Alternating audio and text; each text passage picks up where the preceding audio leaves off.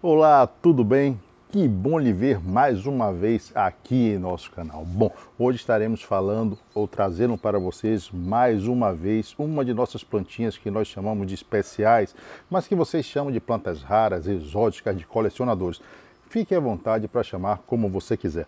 Hoje estaremos vendo como estão as nossas Black Soco. Se lembram dela? Pois é, vamos ver como essas plantinhas estão no seu oitavo mês desde que foram germinadas. Então, se você gosta de plantas diferentes, plantas que a gente não vê comumente nas redes sociais, eu lhe convido a ficar comigo e assistir o nosso vídeo na íntegra. Eu sou a Mauri Oliveira, mas muitos de vocês me conhecem apenas como Salvador Adênio. E este é o canal Salvador Rosa do Deserto. Seja muito bem-vindo. Não se esqueça de se inscrever em nosso canal, caso não seja inscrito.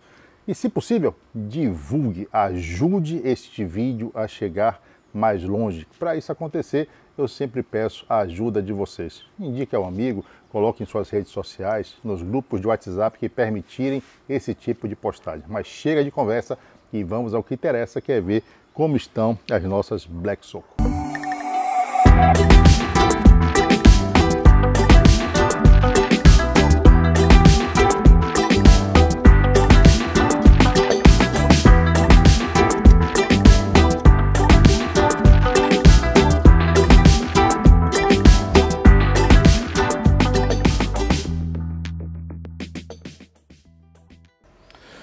Muito bem, a nossa vinheta já passou, são 15 segundinhos, estamos aqui de volta e a pergunta é, você se inscreveu no nosso canal, se esqueceu, se distraiu?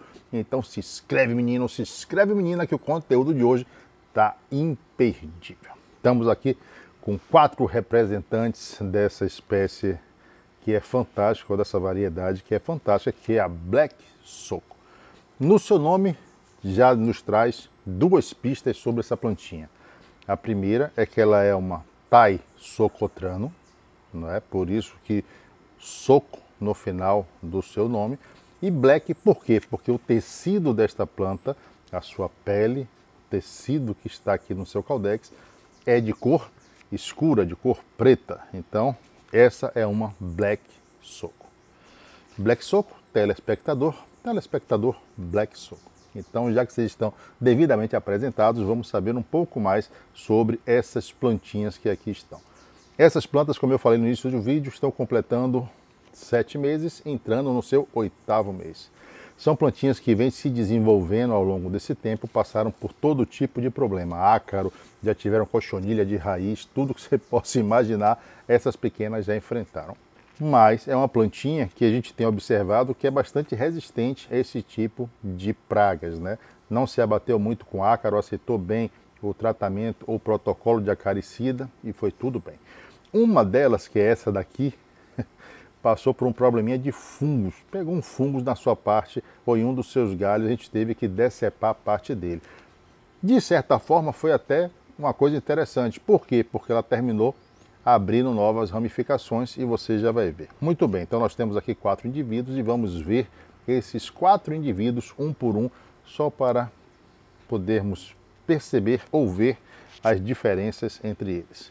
No vídeo passado, essas plantas não estavam com muitas folhas, não sei se vocês se lembram, por conta dos nossos amiguinhos indesejáveis, os ácaros.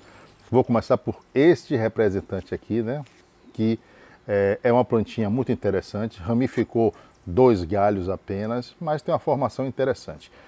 Perdeu todas as suas folhas dos dois galhos né, deste lado, quer dizer, o galho deste lado e o galho central, mas já está recuperando também. A gente pode ver aqui que já tem novas brotações. No mais, aguardar o desenvolvimento. Não tem muito o que falar ou o que fazer nesta planta. Nós ainda não vamos fazer poda, nem poda aérea, nem poda radicular por enquanto. Vamos aqui para o nosso segundo exemplar. Aqui está ele. Esta plantinha daqui, também como a nossa outra amiguinha, já emitiu galhos, na verdade emitiu mais galhos, foram três galhos.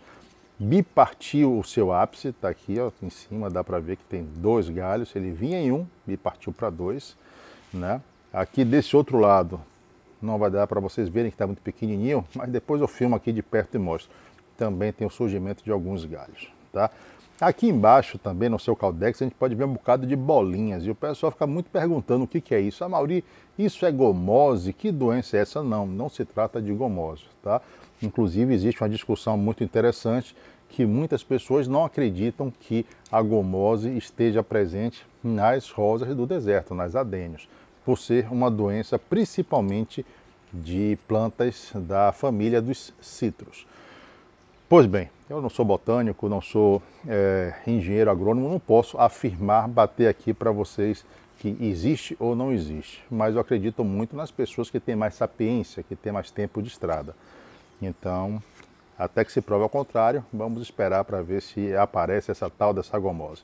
Bom, esses carocinhos aqui, na minha opinião, porque eu também não posso crivar o martelo, são apenas é, pequenas cicatrizes de picadas de insetos. Então o inseto pica essa plantinha para ter acesso à sua seiva e termina deixando ali um micro ferimento e a plantinha termina cicatrizando e fica esta bolinha.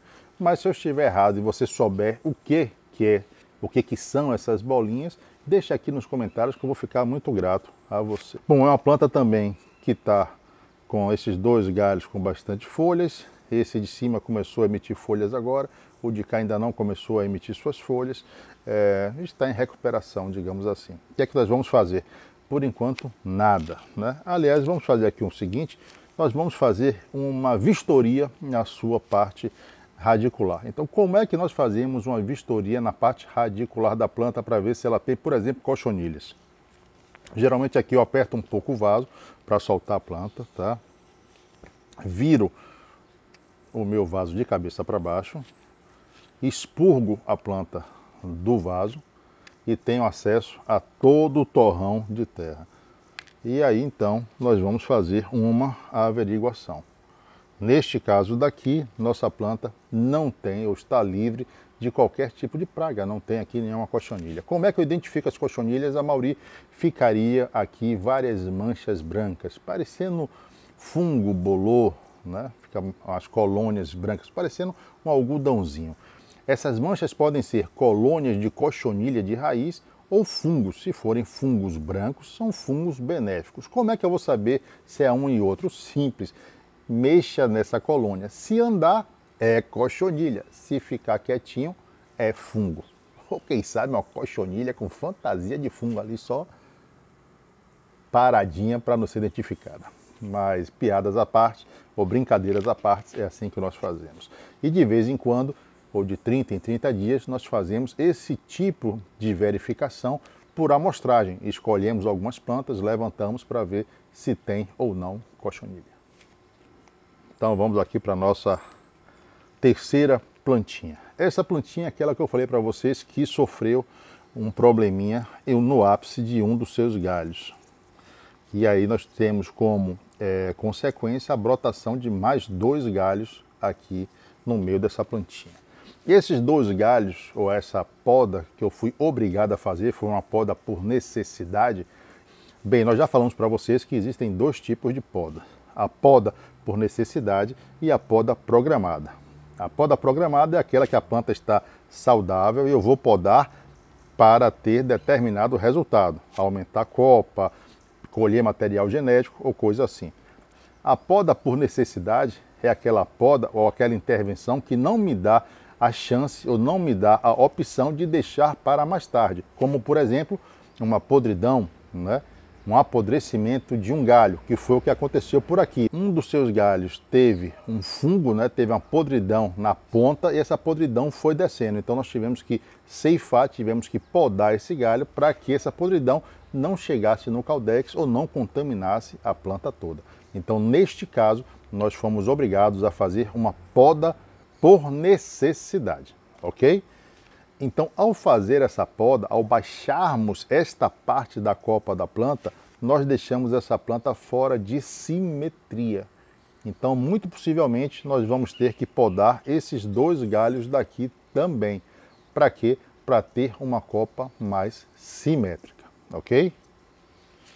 Mas é uma planta que está bem saudável, ainda tem algumas folhas com pequenas manchas, é natural, passamos por, por um ataque de ácaros, então essas manchas amareladas acontecem, não precisa se preocupar com elas.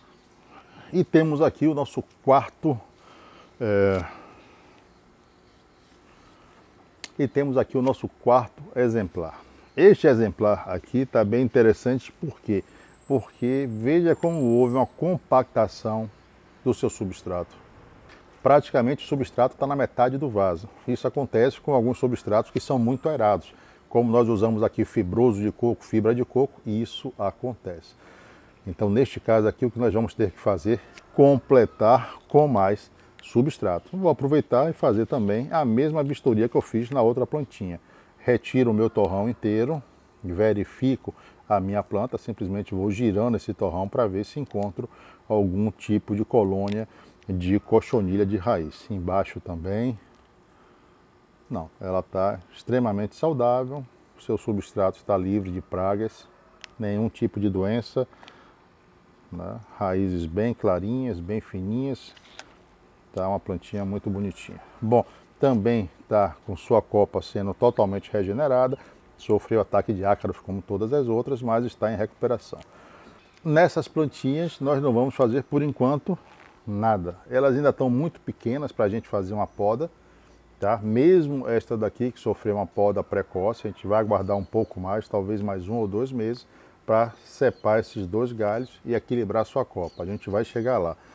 Esta daqui não é necessário porque a sua formação de copa está muito bonita. Essa eu vou ter que esperar a recuperação dela, o mesmo acontecendo com essa de cá. Então, qualquer coisa que eu faça com essas plantinhas hoje, nesse momento, seria prematuro. Neste caso, nos cabe apenas guardar um pouco a ansiedade e esperar para ver o que vai acontecer ou como elas vão se desenvolver. Espero que vocês tenham gostado de ver as nossas Black Soco aqui em nossa série. Caso você se interesse por esse tipo de planta, queira semear essas plantinhas, visite nossa loja que está no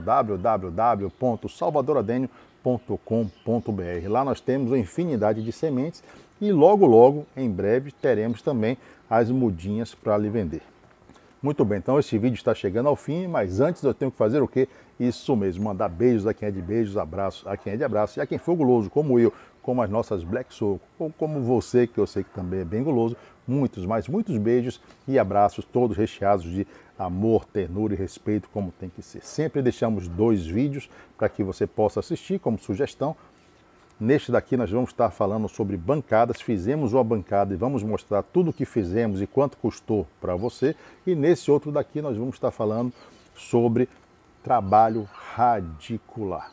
Então, Caso queiram assistir, fiquem à vontade. Deixe seus comentários, deixe suas dúvidas, teria o maior prazer em ler e responder. Quer ajudar o canal? Torne-se um membro de nosso canal e venha participar de um dos melhores grupos de WhatsApp do Brasil que tratam desse assunto que são as rosas do deserto. Vou ficando por aqui, mas nos encontraremos em breve, aonde a Mauri aqui em nosso canal, quando no lançamento de um de nossos vídeos ou quem sabe em uma de nossas lives. Até lá e bye bye.